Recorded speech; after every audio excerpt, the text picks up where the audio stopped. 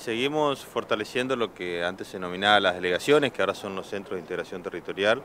a lo cual en estos dos años y medio le hemos dotado de mucho equipamiento y de mucha funcionabilidad y además de la creación de nuevas delegaciones que nos permita estar más cerca de los vecinos. En este caso, anticipándonos ya a lo que va a ser que a partir de la temporada de septiembre, en el inicio de la primavera, empiezan a crecer eh,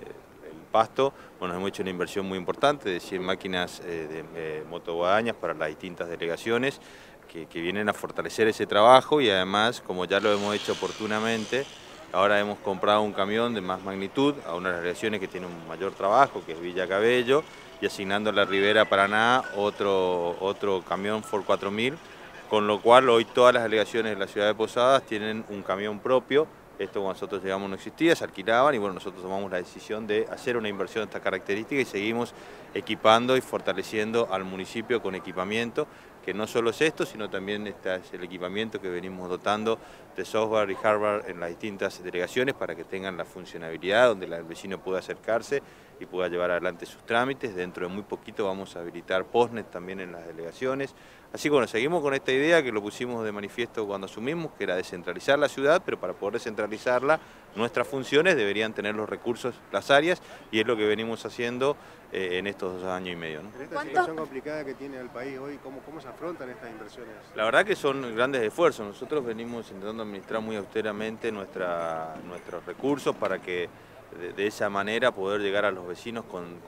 los servicios que, nos demandan. Posadas es una ciudad muy grande, Posadas es una ciudad que tiene eh, una demanda importante y la venimos haciendo. Hemos hecho un esfuerzo grande para poder equipar a los camiones y tener toda una flota nueva de camiones recolectores de basura. Eso fue una inversión grande, de hecho fue la más grande en la historia de la ciudad de Posadas en tan poquito tiempo y también estamos duplicando el plantel de equipamiento vial para que Obra Pública pueda hacer los trabajos de reparación. Ya tenemos dos equipos de bacheo, pero a la vez estamos duplicando la cantidad de motoniveladoras y, eh, y el otro equipamiento que es necesario para que Obra Pública pueda hacer ese trabajo en una ciudad que todavía tiene muchas calles de tierra, pero bueno, que la verdad que estamos haciendo, hoy está saliendo a disposición y aunque parezca increíble, un camión regador, porque también cuando, cuando empiezan a levantarse la tierra tenemos lugares donde tenemos que, que brindar este servicio. Así que bueno, hacemos un esfuerzo complejo porque al igual que le está pasando a los bolsillos de cualquiera de los posadeños, a nosotros también nos cuesta.